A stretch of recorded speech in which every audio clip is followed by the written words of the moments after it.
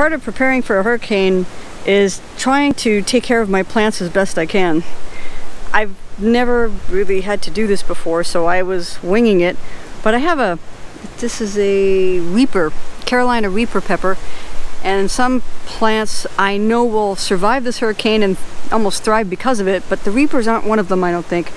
So what I did was, I took some of my plastic pink stuff tape and just tried to wrap all the branches such that the majority of the plant is this nice tight kind of uh, thing, I don't know.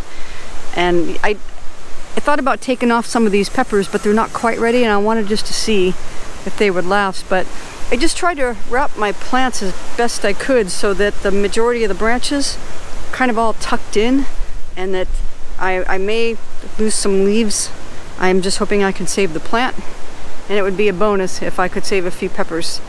So besides picking up the yard and making sure everything is put away and strapped down and tied down, this is how I I took care of the pepper plants. And if y'all have a better way of doing this, please let me know because when, although we had a week's notice on the hurricane, sometimes that's just not enough. With all the other things that goes into hurricane prep, this was one of the last things I had time to do. And I did this as best I, as best I could, as not ever having had to think about it before. So if y'all know of a better way, please let me know. Here's another one of my hot pepper plants, um, very much wrapped like the one before it.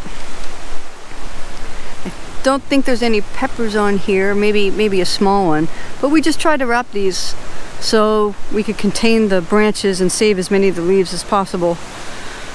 This is this is kind of what we're hoping, and we're hoping that when we come, they're they're standing. We've reinforced some with stakes, and crossing our fingers.